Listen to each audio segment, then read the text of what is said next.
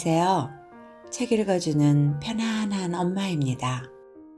오늘은 일제 강점기 결성된 신경향파 문학단체인 염군사의 멤버였으며 초기 카프의 성립에 참여했던 소설가 최승일의 단편 중에 새벽을 읽어드리려고 합니다. 먼저 작가에 대한 소개를 간략히 드리자면 그는 1901년 부친 최용현과 모친 박용자 사이의 이남 이녀 중 장남으로 태어났습니다. 일제강점기 고전 무용가로 세계적 명성을 떨친 최승희가 그의 막내 동생입니다. 배제고보 3년에 중퇴한 최승일은 일본으로 건너가 니온대학 미학과에서 수학하였고 1920년 봄 유학생을 중심으로 한 우리나라 최초의 본격적인 근대극 연극 단체인 극예술협회의 창립에 참여하였습니다. 이 무렵 잡지 신청년의 주간을 맡아보면서 시와 소설을 처음으로 발표하는 한편 국내의 극문회 결성에도 참여합니다. 신경향파 소설로 나가기 이전 최승일의 초기 소설 세계는 주로 연애 사건을 중심으로 한 자연주의적 서술 스타일의 심리 묘사를 특징으로 하고 있습니다. 오늘 읽어드릴 새벽 역시 조혼과 자유연애를 모티브로 한 일반적인 서사 구조를 따르고 있습니다. 저희 선택이 여러분의 편안한 시간에 적으나마 도움이 되어 드렸다면 구독과 좋아요를 눌러주시기 바랍니다. 범우출판 지은이 최승일 새벽 어느 장편의 일절 춘실이와 은주의 사랑도 벌써 석 달이란 긴 역사, 적어도 그들에게는 를 가지고 왔다.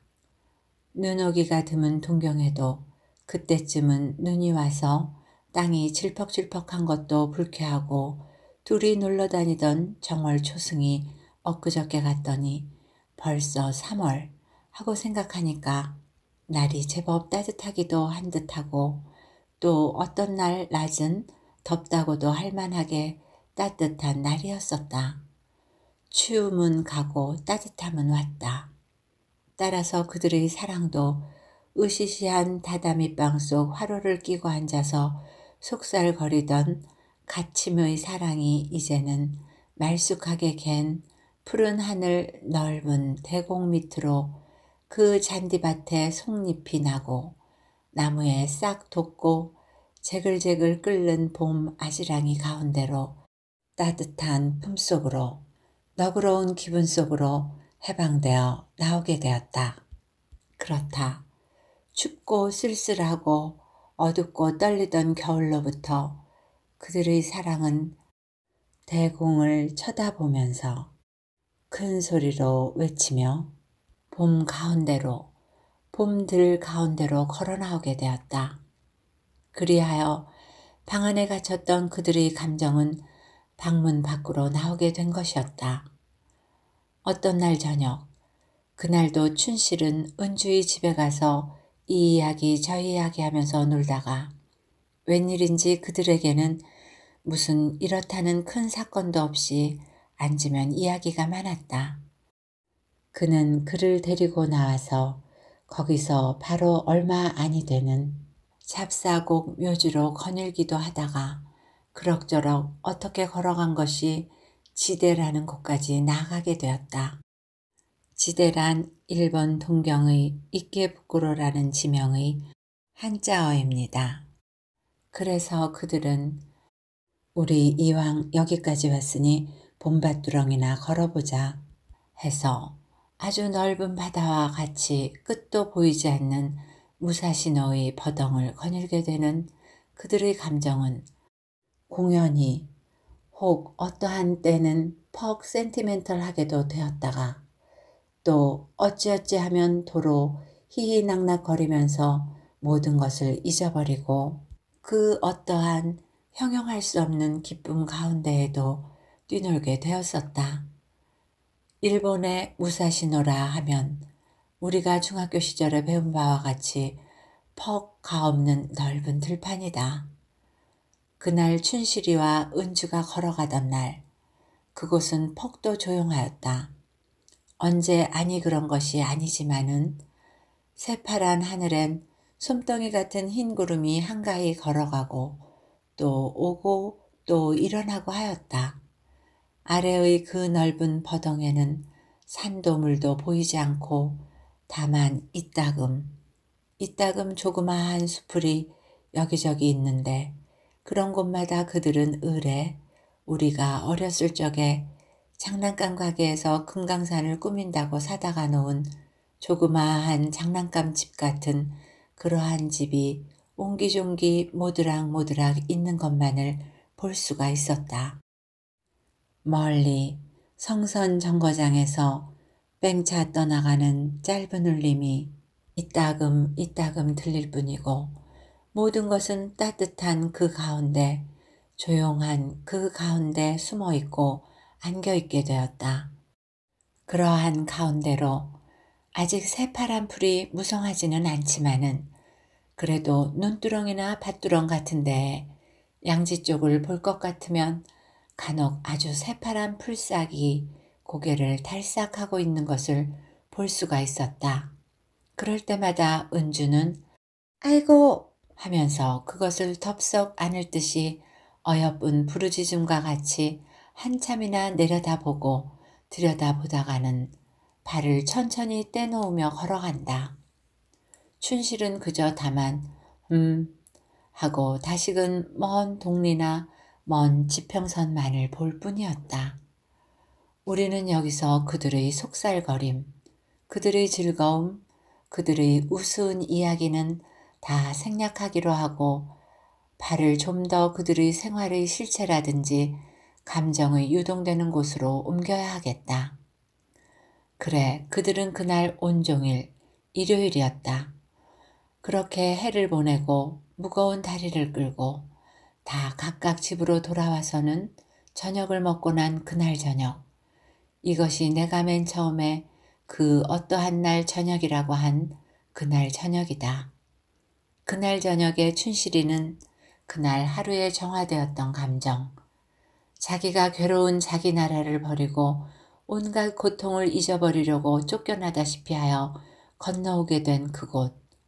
원인이 일어나는 원인 계급 속으로 뛰어들어온 대담한 모순 속에서도 자기 고향에 있는 것만큼 못지않게 그렇게 괴롭더니만 그러나 그 나라의 자연은 그에게 퍽 어여쁜 감정을 주었다.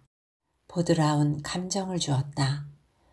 건조무미한 반대륙적 공기 속에서 우울하게 지내던 그에게는 퍽 어린 처녀의 감정과 같은 느낌을 그에게 주었다. 그리하여 그 정화된 자기의 감정을 품에 안고서 아까 자기들은 그 어느 그림과 같은 가운데 있었거니 하면서 자처를 해보는 그러한 기쁨도 머리에 떠오르면서 밤 동경의 거리를 혼자 그는 걷게 되었다. 오 리상 어서 오십시오. 긴 상은 자는걸요. 긴자의 거리를 걷기를 마치고 은주의 집을 찾아오는 춘실을 맞아주는 그 집 주인 노파의 저녁 인사이다. 춘실은 아무 말도 아니하고 다만 구두끈을 풀고 올라가기에 바빴었다. 퍽 고단했던 모양이에요. 하면서 노파는 은주가 있는 방을 지나가면서 더 커다란 목소리로 김상, 리상이 오니 일어나요. 이렇게 한마디 공중에 던져놓고는 그의 방으로 들어가서는 다시 아무 말이 없었다. 춘실은 빠드득 빠드득 소리가 나는 현관방을 지나서 쿵쿵 소리가 나는 마루를 지나서 은주가 있는 방 쇼지에다가 가벼운 노크를 하였다. 들어오세요. 자다가 일어났는지 부시시 하는 소리가 나면서 이러한 소리가 난다. 이 소리가 떨어지자마자 춘실은 꽤 급속하게 그 문을 열었다. 방 안에 일어서서 이불을 척척 깨서 한 모퉁이로 치워놓고 있던 은주는 고개를 돌이켜 쌩긋 웃으며 고개를 까딱하고는 다시금 돌이킨다. 춘실이도 빙그레 웃었다. 그때 은주의 머리는 풀어진 채 엉덩이 근처까지 내려 덮여 있는 것을 춘실은 그 어떠한 좋은 시선으로 그것을 바라보았다. 앉으세요. 은주는 방석을 갖다 놓으면서 자기도 앉고 춘실이도 앉게 했다. 벅 고단하시지요? 춘실은 은주의 손을 잡으면서 이러한 위로하는 말 비슷한 보드라운 말을 하였다. 은주는 그 말 대신에 다시 한번 길게 웃었다.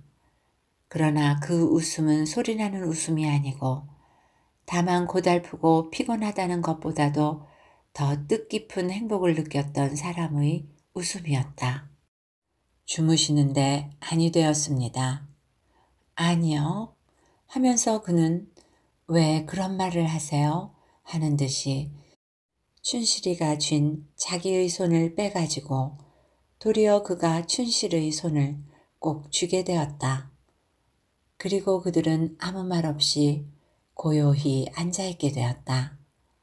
밤이 거지반 아홉 시는 되었는지 밖에서는 우동 장사의 나팔 부는 소리가 난다. 왜 이리 어색한가 하는 느낌을 다시금 춘실은 느끼게 되었다. 그와 그가 처음 한동안 그저 다만 친한 좋은 친구로서 대할 적에는 퍽 긴 이야기도 많고 더구나 세상에 대한 이야기 같은 것이 대부분을 점령했었건만은 그와 그렇게 된 다음부터는 그러한 이야기가 어디로 다 가버리고 혹 어떠한 때는 둘이 한데 붙잡고 몇십 분 동안을 가만히 앉아 있을 때가 꽤 흔하였었다. 그러나 만일 무슨 이야기가 시작되기만 할 것 같으면 밤새도록 해도 못다 할 듯 하지만은 그리하여 그들은 처음 만나서 얼마 동안은 퍽 이상스러운 분위기 속에 담기고 말게 되었었다. 그리고 또 처음 춘실이가 은주를 우상화해 가지고 생각할 때에는 만일 은주가 자기를 사랑한다고 할 것 같으면 자기는 밤마다 몇 시간 동안을 틈을 타가지고 세상살이에 대한 자기 아는 데까지의 강의라면 좀 어폐가 있지만은 하여간 자기보다 모르는 점은 아주 철저하게 일러주고 가르쳐 주리라고 생각하였었다. 그러나 사실 당하고 보니 그는 그러한 자기의 이상을 누르는 그 어떠한 무거운 열이 먼저 자기의 전 인격을 누르는 듯이 생각되었다. 그리하여 그는 이래서는 아니 되겠다 하면서 혹은 이지적으로나 지식적으로 달아나려 했으나 웬일인지 가슴이 먼저 두근두근해지고 얼굴이 화끈화끈해짐을 쉴 새 없이 그는 맛보았다. 그리하여 지금도 이러한 시련을 받고 있나 보다 하고 그는 얼마 동안인지 그렇게 생각되었었다.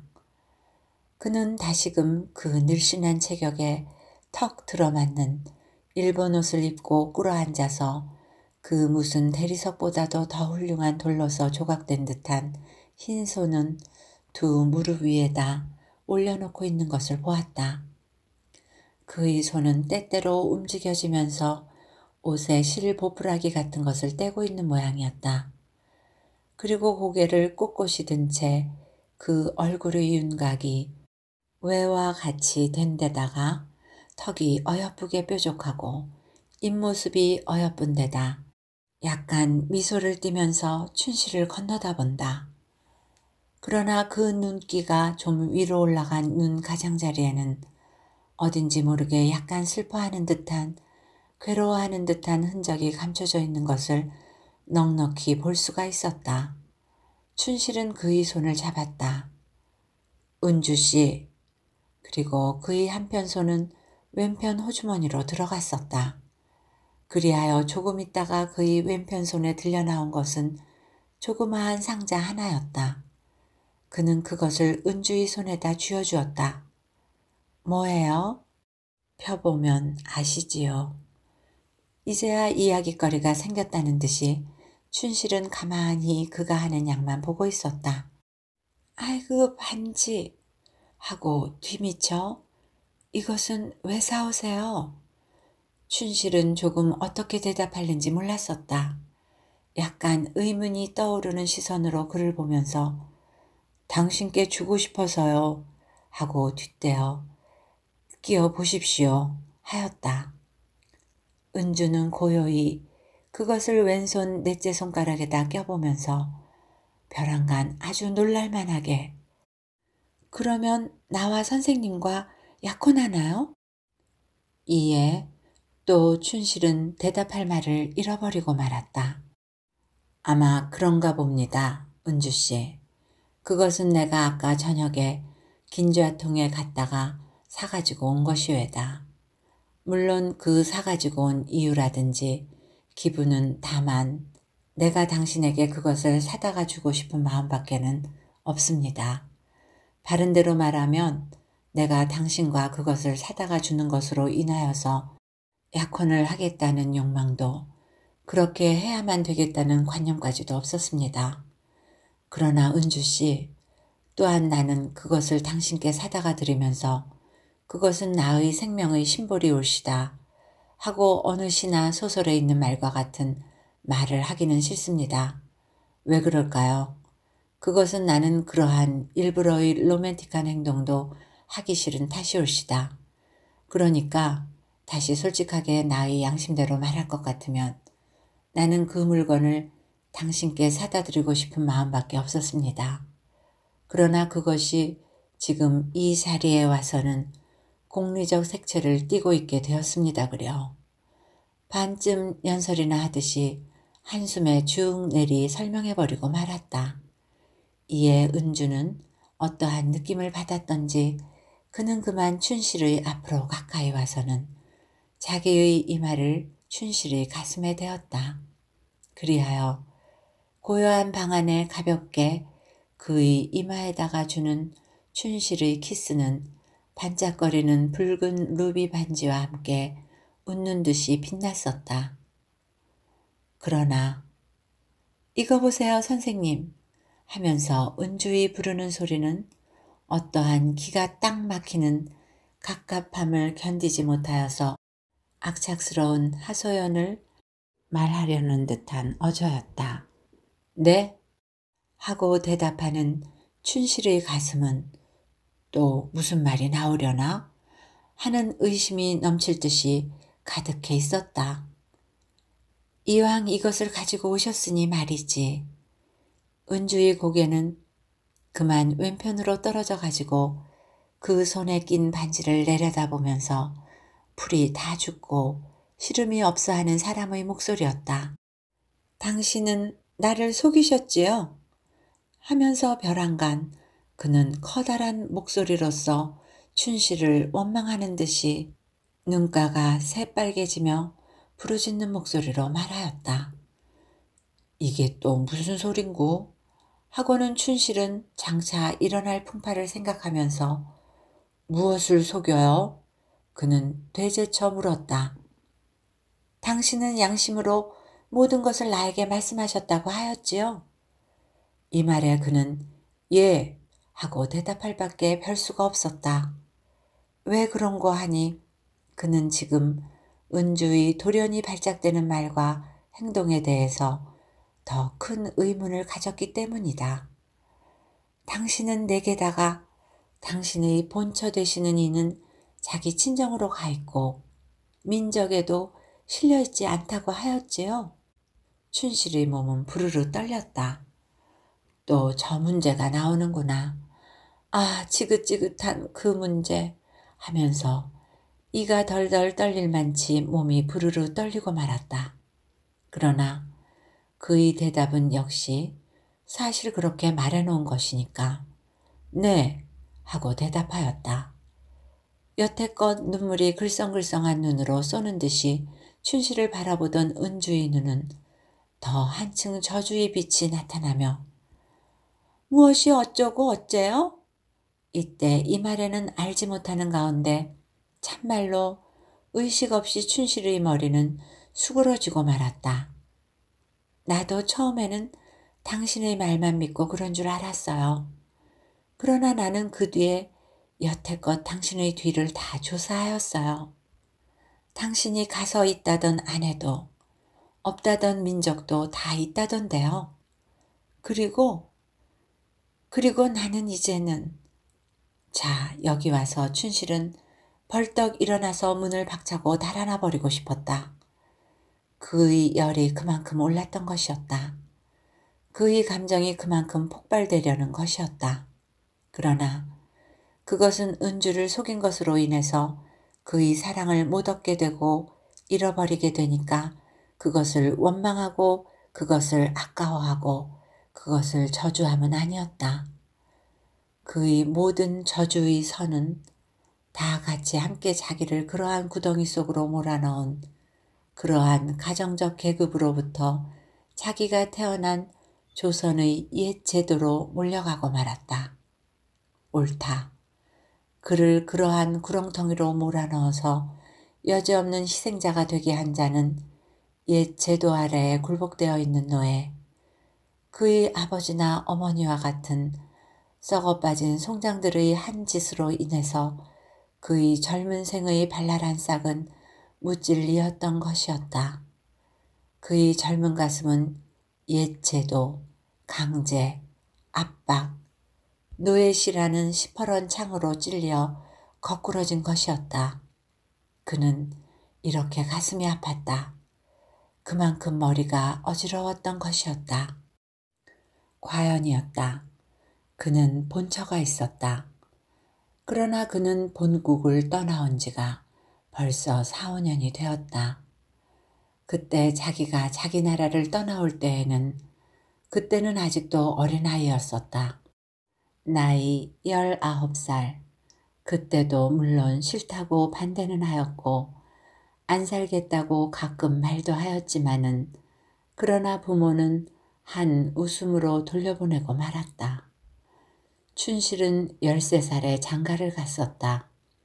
이만하면 그의 결혼은 부모들의 유희였고 따라서 그것이 전제였고 횡포였던 것을 짐작할 수가 있을 것이다. 그리하여 그는 아직 그러한 용기는 채 가지지 못하고 있었을 때 그만 동경으로 건너간 것이었다. 그래서 그럭저럭 하고 있다가 이것도 이 그럭저럭이란 것도 그는 물론 부모의 물질로 공부하고 있기 때문에 만일 이혼이니 하는 문제를 꺼내면 부모는 물론 그 어떠한 협박으로라도 학비를 안이 보내주겠으니까 그때는 자기의 이상도 자기의 이론도 다 달아나 버리지 않으면 아니 되겠다는 그러한 약한 타협 아래에서 그럭저럭 참고 지내오면서도 언제든지 문제가 폭발되어 가지고 그 어떠한 파열이 날 것은 미리부터 짐작하고 있었던 것이었다. 그리고 은주 자신도 이러한 경우는 대강 다 짐작하고 있었던 것이었다. 아, 그러나 젊은이의 사랑은 그 시간을 여유하지 않았다. 그는 은주와의 사랑이 생기게 되었다. 그리하여 그는 처음에도 그것으로 인해서 퍽 혼자 괴로움을 받았다는 것은 이 위에도 썼지만은 그는 기어코 사랑을 위하여 자기의 사랑을 얻기 위하여 임시의 기만적 행동을 취하지 않으면 아니 되게 되었었다. 그리고 올 여름이라도 다시 본국에 돌아가서 최후로 이제는 해결하지 않으면 아니 되겠다고 생각하였던 것이었다. 참으로 그렇다. 젊은이 가슴에서 우러나오는 사랑. 그것은 그 자신의 주위와 환경을 돌아보지 아니하였었다. 만일 그 어느 의식적으로 돌아보게 된다면 그 사랑의 본질은 허위일 것이다. 자, 이만하면 독자여, 당신들은 이 주인공에게 대해서 오히려 동정은 가질지언정 비난은 아니하리라. 이야기는 다시 계속된다. 그리하여 위에 말한 것과 같이 춘실은 은주에게 이렇게 속여왔던 것이었다. 그러나 오늘은 은주는 어떻게 알았는지 그는 모든 것을 다 알아가지고 춘실에게로 육박한다. 이것을 당하는 춘실은 다만 멍멍히 앉아있을 뿐이었다. 꼼짝도 아니하고 전등불만 쳐다보고 가만히 앉아있었다. 그러나 가슴에서 떠오르는 저주의 열, 머리에서 돌아다니는 제도에 대한 의식의 반역, 그 모든 것은 드디어 그로 하여금 눈물을 흘리게 하고 말았다. 그 울음은 오히려 자기의 과거로 인해서 현재의 사랑을 잃어버리기 때문에 슬퍼서 운다는 것보다도 자기를 그렇게 희생시킨 지배자라든지 계급인에 대한 울분으로부터 나오는 눈물이었다. 그는 눈물이 흐르는 눈으로 마주 앉아 있던 은주를 내려다 보았다. 아, 그때 은주는 그만 엎드려 흑흑 느껴 울고 있었다. 은주 씨, 나는 아무 말도 아니하겠습니다.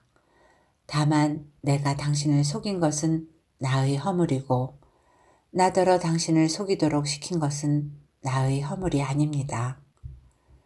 그는 여태껏 아니올 여름까지는 속여내려 가려고 했던 것이 이제는 할 수 없는 일이라고 생각되었기 때문에 더구나 그가 우는 것을 보아도 이 위에 더 자기의 마음을 속일 수는 없는 일이라고 생각하였다. 또한 그의 지금 하는 말은 모든 불평과 저주가 함께 흐르는 가슴에서 우러나는 비창한 부르짖음이었다. 그러나 기적은 일어났다. 은주는 다시 일어나서 눈물을 씻고 똑바로 앉으면서 춘실을 물끄러미 바라보더니 이러한 말을 부르짖게 되었다. 관계없어요. 나는 당신을 사랑해요. 본처가 있는 것이 무슨 관계가 있어요?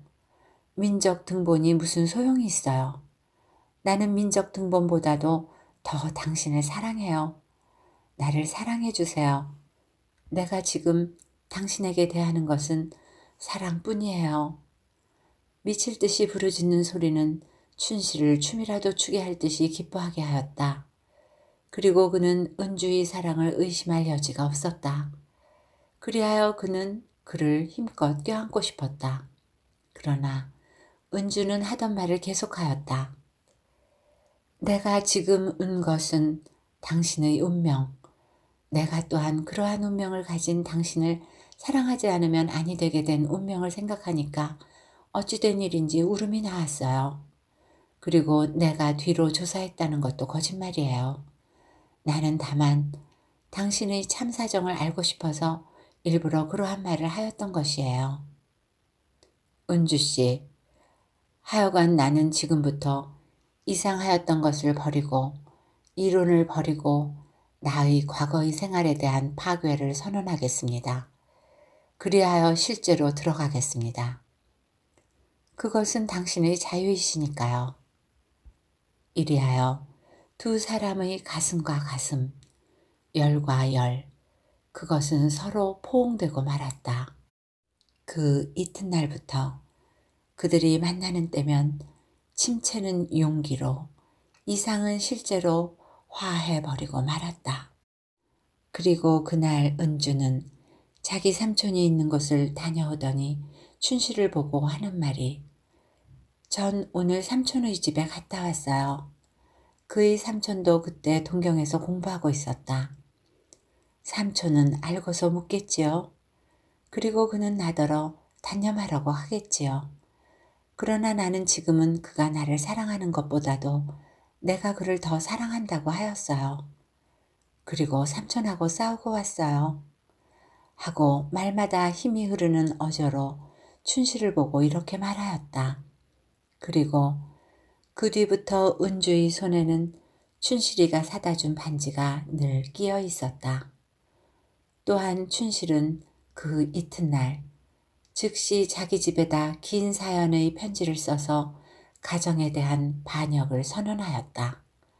아무리 은주가 아무 관계가 없다고 하더라도 그 썩은 옛 도덕이나 제도의 유물인 그를 그는 자기와 일생을 같이 할 친구라고는 생각지 못하였다. 더군다나 서로 불행하고 서로 모순된 생활을 해가기는 그의 양심으로 허락되지 아니하였다. 그리하여 그는 옛 것을 배척하고 새 것을 요구한다는 그러한 공리적 견지를 떠나서 좀 더 사람의 자유, 사람된 인권을 생각해서도 당연히 그러한 생활에서 떠나려고 한 것이었다. 그러나 그 답장은 냉연하였다. 내가 그렇게 오장이 들어간 데야 할 수 없다는 것. 너와 나 사이는 아주 절연을 하자는 것.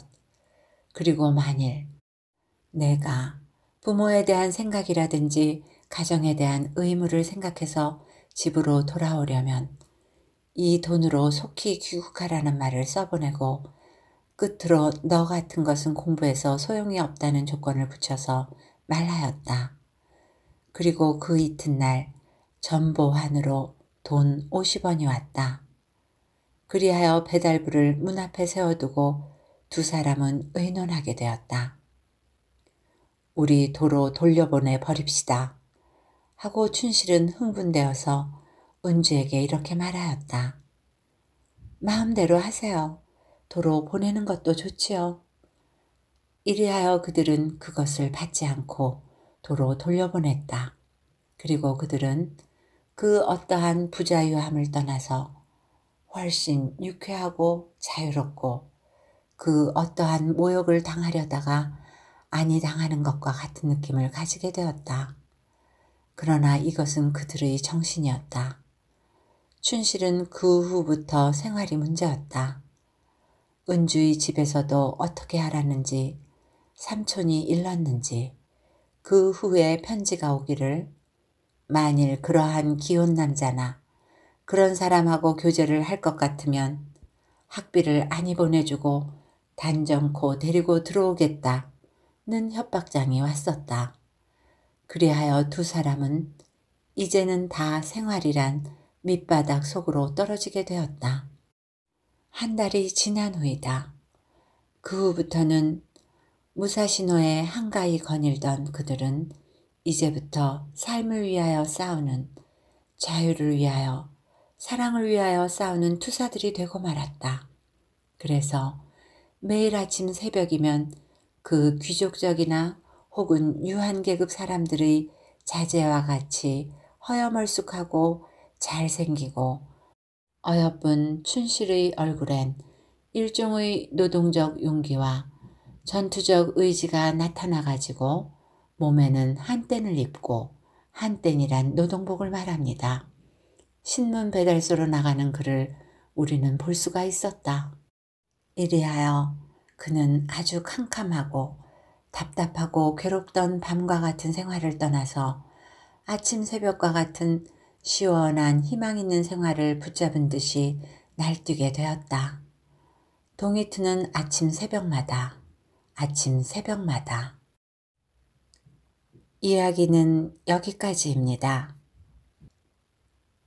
자유연애를 모티브로 한 소설들에서 당사자들의 관계는 대체로 파국에 이르는 결말로 되어 있는 것이 보통이나 이 작품에서는 반봉건의 차원을 넘어서 새로운 이념으로 전환되어 가고 있습니다. 조선의 조혼이라는 옛 제도에 의해 원치 않은 결혼을 13살에 하여 본국에 아내가 있는 주인공 춘실은 유학 중에 만난 은주와의 연애에서 아내와의 이혼 문제가 관계의 걸림돌로 등장하며 둘 사이가 위기에 봉착하나 두 집안의 반대로 인한 경제적 어려움이라는 현실의 개입으로 말미암아 분열된 자유연애라는 관념을 또 다른 관념, 즉 계급이라는 관념으로 봉합하고 있습니다. 재밌게 들으셨는지요? 여러분 모두 편안한 시간이 되셨기를 바라며 오늘도 행복하세요.